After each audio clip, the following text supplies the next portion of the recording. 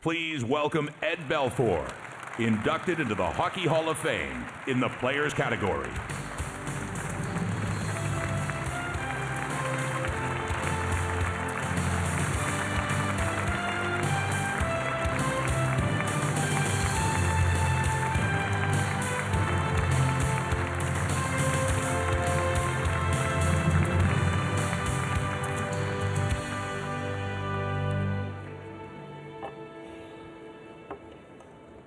Thank you, ladies and gentlemen.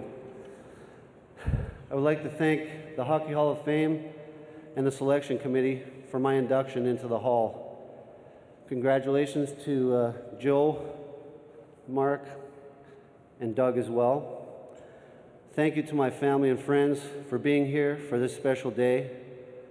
Special thanks to Vladislav Tretiak for everything you've done for me and making the trip from Moscow to be here tonight.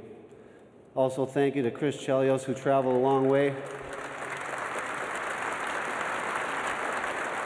from his scouting trip in Europe, and for everything you taught me when I was a rookie. We had a lot of fun too, so appreciate that, Chris. I am proud and honored to receive this recognition and will treasure this weekend for the rest of my life. I have been truly blessed with many awards and championships. I attribute this to my God given talents and all the great people I've come in contact with that have supported me. Playing for all the winning teams, having great teammates and coaches has been a blessing for me, and I'm very grateful for it all. You've all made a positive impact on my life and career, and I will always remember those special times we have shared. Thanks to all the fans and the Eddie Eddie chant. It always gave me inspiration and helped me play better. I'll never forget it. Thanks to my wife Ashley and my children, Dane and Reagan and Adler, for all your love, support, and patience.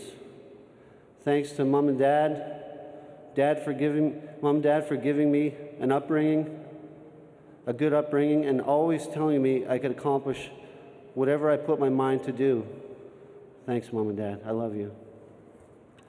Last but not least, I want to thank God for giving me this life, blessing me with all these wonderful people and experiences. Thank you all, and God bless.